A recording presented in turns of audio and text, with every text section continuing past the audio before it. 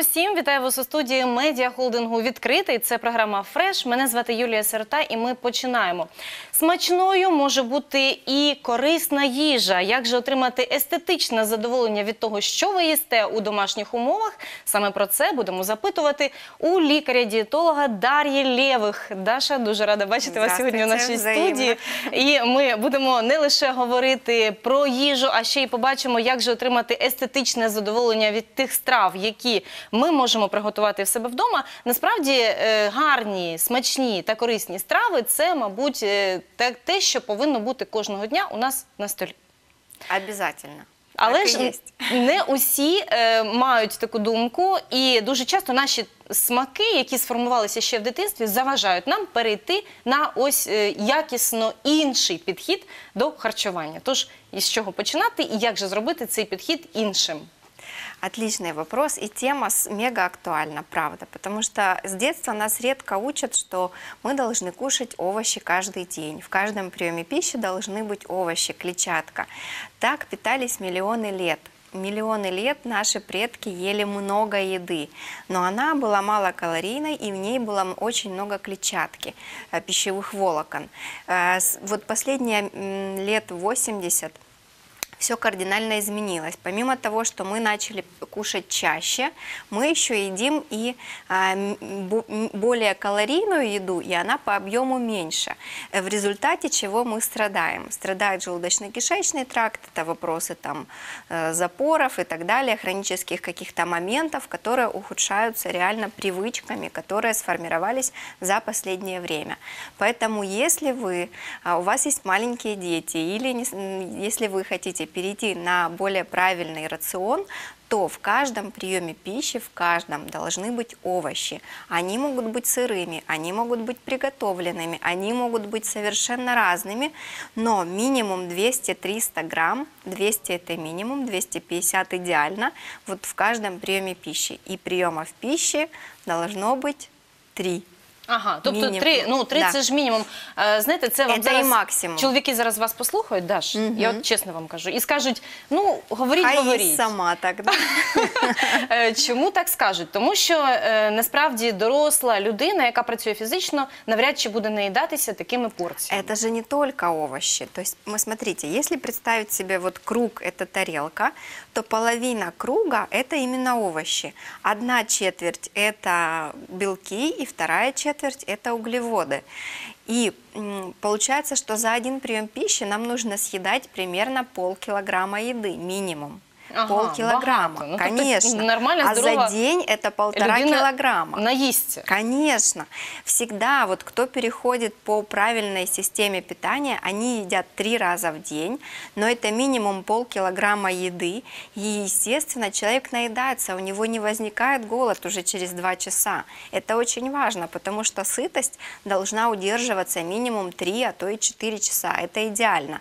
То есть, когда вы съедаете полноценный прием пищи, вам должно хватать минимум на 3 часа. В идеале, если это 4 часа. Е, М'ясо повинно бути, так? Якщо зараз ми будемо говорити вже про пісний період, бо люди, багато хто зараз вже переходить на пісне харчування, бо піст великий, Да, так? суворий. начався. Суворий піст. Його дотримуються зараз люди, і м'яса немає. Е, Можна, звичайно ж, замінити його е, чимось Рибою. іншим. Е, Риби, рибу, до речі, не завжди можна. Теж є е, деякі дні, коли Дні, да, можна. є дні.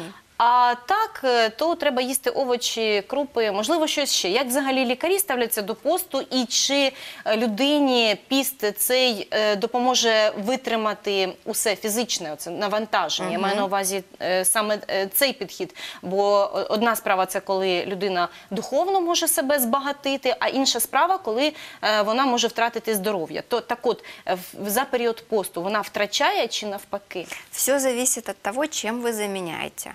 Если человек убирает мясо, яйца, рыбу, молочные продукты и заменяет это хлебом, булочками, конфетами, то это явно не про здоровье, конечно же. Если человек в целом э, грамотно меняет вот соотношение пищи, то есть вместо животного белка он обязательно добавляет растительный белок в виде бобовых. Это нут, чечевица, фасоль, бобовые, это горох всякий, да. А, Это первый вариант, то есть когда нужно обязательно, чтобы добавить животного, э, растительного белка и обязательно добавить правильных жиров, тоже растительных. Это орехи, семечки. Из семечек самое полезное это тыквенные, кунжут, лен. Важно их измельчать, потому что они не перевариваются, не усваиваются, если мы их едим просто ложкой. А, може олія тоді, так? Е, Кунжутна, Олия наприклад. кунжутна не совсем то, потому что в масле есть только жир, белка нету, потому что вот все, вся польза, все минералы, они остаются в жмыхе. Поэтому важно именно употреблять, если семечки вы едите, то просто на кофемолке их измельчите перед употреблением и посыпайте салат, добавляйте себе в кашу, в суп, в борщ, неважно, в постный даже. Это будет добавлять сытости, это будет э, добавлять аминокислот определенных и добавлять полезных жиров, которые будут удерживать сытость, помогать удерживать сытость. Это тоже важно. И также важно, вот вы спросили, полезно это или не полезно, вот э, поститься в целом. А, у разных врачей э, разное к этому мнение, э, к этому отношение. У меня отношение в целом положительное, если это делать правильно. Я не ем мясо уже почти пять лет. В целом. Виглядаєте всегда. чудово, да. Спасибо, благодарю. А, Я начала есть рыбу недавно, потому что тоже исследование, согласно исследованиям длительным, было показано, что дольше всех живут именно пескарианцы. Пескарианцы – это люди, которые едят, едят рыбу в основном. То есть не едят мясо, не едят там молочных много продуктов, а едят рыбу. Я сейчас не рекламирую рыбу, но просто важно понимать, что мы недооцениваем ее роль в нашем рационе, и она должна присутствовать хотя бы два раза в неделю. И даже в строгий пост два раза в неделю допускается рыба, ну как минимум раз в неделю, если я правильно помню. Так вот, в целом это положительная тенденция. Почему? Потому что человек, а, он настраивается меньше кушать в целом, то есть он порции делает чуть поменьше. В результате объем желудка чуть-чуть уменьшается за это время, за 40 дней. И потом, даже когда он начинает есть более плотную пищу, он насыщается быстрее. Это вот, э, вот Це в этом важно. користь. Конечно. Мгм, Дуже важливо для людини. Абсолютно. Еще очень важно также понимать, что чем заменять. Очень важно все-таки придерживаться рекомендаций ВОЗ. Неважно, это пост, не пост. И там три важных положения. Это соль, ее должно быть до 5 грамм в день. До 5 грамм соли мы можем есть. Безопасно для здоровья. Багато не можна, не можна Не пересолити ні в Вот якому если разі. вы будете просто на соленьях сидеть какое-то время, то, естественно, это не принесет пользы. Сахар. Мини- максимум это 30 грамм в день добавленного сахара. в- Вот, Це ж э, треба враховувати ще і Конечно. тістечка, цукерки, все, их що ви вообще не їсте. должно быть в идеале. Э, Вот, потому что если мы переведем 30 грамм сахара на черный шоколад 70%, то мы получим примерно треть плитки. Это не так-то уж и мало, треть плитки черного шоколада, но при этом больше другого сахара не может быть в этот же день. А, то есть там йогурт без сахара, мед тоже не злоупотреблять, потому что в меде есть фруктоза. Одна столовая ложка меда в день, это допускается, это нормально. Фруктозы, которым очень много в меде, она очень вредна для нашей печени, поэтому мы как бы пытаемся запустить э, процессы очищения, да, и процессы детоксикации, но когда мы избыток поступает фруктозы из фруктов, из меда и так далее, то, естественно, это замедляет процесс детоксикации, и вместо пользы мы получаем не М, совсем. Скільки всього треба знати, і мені здається, що зараз е, змінився підхід до харчування в цілому. Е, І багато хто з лікарів, е, особливо лікарі-дієтологи, вони дивляться е, на е, стан людини. Вже є дослідження, вже можна зробити висновки. І ось так за е, останні 50 років змінився підхід. Е, Чому саме так відбувається? Невже люди почали хворіти, і все це пов'язано з системою харчування? Да, однозначно.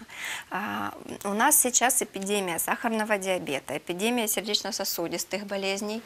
И, естественно, м, это ух- ухудшает состояние том, э, тем, что человек ест. И вот если мы посмотрим на экран, э, тут п- представлены короткие, совершенно простые рецепты, которые можно запомнить каждому человеку. Это совершенно обычные продукты, легкодоступные. Які вони смачні, як вони Да. гарно виглядають, Ані- хочеться з'їсти. Они, насправді. а, мало того, что они красиво выглядят, они еще и очень просты на самом деле. Но вот когда вы смотрите на любую тарелку, то всегда там сохраняется пропорция. Половина примерно тарелки – это овощи, зелень. Вот видите, обязательно зелень, желательно, ну, чтобы она присутствовала каждый день.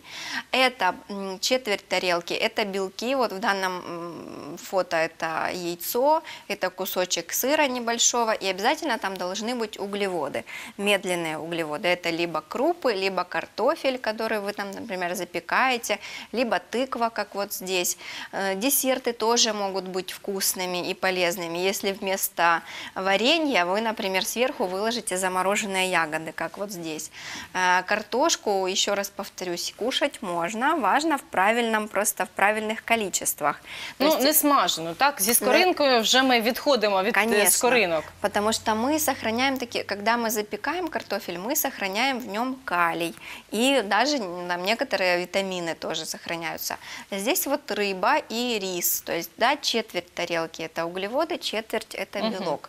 А, не бойтесь э, делать вот разные, миксовать овощи, а, делать их э, запекать или делать на пару. Вот я просто, например, на сковородке под крышкой на медленном огне это все запекаю. Вот здесь бобы, а, тоже вместо мяса. То есть это идеальный заменитель мяса по аминокислотному составу, очень хорошо. Е, Дар'я, а скажіть, у вас часу скільки виходить на приготування таких Это смачних все делается очень быстро. Знаете, Швидко, поделюсь, так? поделюсь Мгм. секретом. Бобовые, они варятся долго, поэтому их всегда я замачиваю на ночь. Вот перед тем, как лечь спать, у меня три э, должно быть выполнено три действия. Первое, я замачиваю крупу, из которой будет утром каша. Второе, я замачиваю бобовые какие-то для того, чтобы это был либо обед, либо ужин. И третье, если это зелень, например, какая-то не сезонная, то я тоже могу ее поместить на ночь в воду для тех, кто боится нитратов, да, что зелень Якраз хотіла запитати, е, дуже добре їсти все свіже. Конечно. І, е, звичайно, зараз є варіантів багато, безліч. І в магазинах, і на ринках все це можна купити, придбати. Але ж ми розуміємо, що десь там, е, можливо, десь в теплицях вирощували, можливо, з додаванням нітратів. Все це можна замочити, Да. ні- нітрати е, зникають, так? Они выходят в воду. Важно не замачивать все сразу, не весь объем, который вы принесли с рынка, тут же поместите в воду. Так не надо делать. Вы просто помещаете тот э, объем, который вы съедите на следующее утро, и все. также вот про э, заморозку не стоит забывать. Мы часто игнорируем вот замороженные продукты, да. Вот здесь, например, замороженный, э, огурь- э, замороженный горох был. Вот семечки, орехи обязательно добавлять в любые блюда. Не забывать про то, что мы можем э, вот восполнять овощи зимой из заморозки. Замороженный э, горох, замороженная кукуруза, спаржа, спаржевая фасоль, перцы, помидоры те же. Вот, вот все, что угодно можно использовать замороженное, и в нем тоже сохраняется определенная доля витаминов. И что самое ценное, зимой сохраняется клетчатка. То есть мы будем Так. кормить наших полезных бактерий. Это же очень важно. Звичайно, і тим більше ми е, можемо довго не обробляти е, таку їжу, бо заморожена вдвічі швидше быстрее готується. готовится, и это экономит время. Поэтому если вы научитесь вот буквально пару моментов, как можно это ускорять, вот эти процессы приготовления. Вот если вы замочите крупу, она варится в, там, в три раза быстрее. Огірки, помідори, якщо замочити на ніч, е, залишити у воді, нічого з ними на ранок Нет, не станеться? ничего страшного с ними не произойдет. Огурцы точно выживут, с ними все нормально.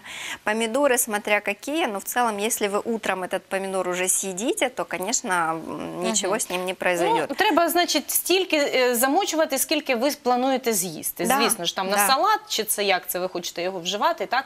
А, і буде от зараз вже зелена редиска, починається так багато чого зараз такого свіжого, фрукти різноманітні. Їх потрібно обробляти чи не бажано? В смысле замачивать? Замочувати, так. Можливо, шкірочки обчищати, бо Ну, по ти ж- сути, в, в кор, в кожуре находится как раз максимум пользы. Поэтому, когда мы это срезаем, мы себя лишаем определенной доли полезности. Поэтому важно все-таки лучше замочить э, на пару часов хотя бы, если вы боитесь на ночь, вот клубника там, когда пойдет и так далее, ягоды там первые. Просто замочите хотя бы на пару часов это в воде. А, вот максимально авто- автоматизируйте этот процесс, чтобы это не доставляло, а, надо замочить сейчас, надо это, на это потратить время. Нет, если вы автоматизируете вот эти действия, они будут уже незаметно, и тратить время на это много не придется. Е, Ще таке питання. Е, Люди офісні часто не мають стільки часу, щоб можна було обідати повноцінно, вечеряти повноцінно, зранку щось перехопили. Як бути в такому випадку? Значит, э, максимально тоже автоматизировать процесс, что можно кушать. Я всегда даю лайфхаки, как можно, что можно в супермаркете покупать из полезного, что можно покупать там в экоферме или в разных других магазинах, например, гороховый суп или нутовый. Он по составу там достаточно много белка. Вот вы взяли, просто залили его кипятком, и вот вам уже готовый обед, например. А если у вас еще есть какая-то морозилка, или вы захватили из дома там какую-то брокколи замороженную или цветную капусту, вы просто бросили его в эту тарелку с этим супом, и вот вам уже полноценный обед. Закусили чуть-чуть орешками, семечками, вот вам жиры. И все, как бы. И даже если нет времени, вы э, по- пообедали полноценно. и Не ужин- пиріжки, так, не Конечно. стейк. е, е, Десь, можливо, чоловіки захочуть же їсти саме таку їжу, я думаю, в першу чергу. Так? А Після- як ви боретесь з чоловіками? Що, Я що не ви- борюсь с мужчинами, правда. Я их люблю и уважаю, потому что мужчины, как правило, придерживаются рекомендаций более ответственно, более осознанно, и результаты получают они намного лучше. Вот это лично моя статистика. А, поэтому количество, вот важно просто, да, нас, э, чувствовать насыщение. А для этого нужны не столько стейки, сколько правильные жиры и медленные углеводы. И при этом, вот правда, не будет голода. Если вы правильно скорректируете, вот, чтобы там было достаточно жиров, не надо бояться оливкового масла, экстра virgin. Прямо 5 столовых ложек в день должно присутствовать. Орехи, семечки, опять же, если это вне поста, то это еще яйца, где есть и лецитин, и полезные жиры. Если это, например, тоже вне поста, то это сливочное масло 20 грамм в день. Это тоже то, что держит сытость. И еще очень важно, это помогает выделяться желчи. Потому что когда вот человек переходит, например, на постное питание, и он убирает жиры все, не только растительные, не только животные, но и растительные, то у него ухудшается работа желудочного, вот именно выделение, отделение желчи И это может привести к определенным последствиям. Либо там камни какие-то сформируются, либо там дискинезия, будет какая-то боль. Поэтому очень важно в каждом приеме пищи, чтобы были правильные жиры. Так, ну за все зрозуміло. Дар'я, я просто неймовірно вам вдячна, бо насправді ми побачили сьогодні і таку красу, е, як гарно оформлені можуть бути ваші страви, корисні, смачні. І е, що найголовніше, це ви наїстесь. Да. Тому і будете здоровими. Не бойтесь объемов пищи, бойтесь неправильных сочетаний и а, неправильного, ну, с- собственно, то, что на тарелке лежит. Вот если вы будете питаться правильными продуктами и много, то вам обеспечена сытость, э, чистая красивая кожа, плоский живот, шевелюра и отличное настроение. Ну все, будемо намагатися так їсти і будемо здоровими. Даша, чекаємо вас іще до нашої студії. А ми з вами зустрінемось за декілька хвилин. 了。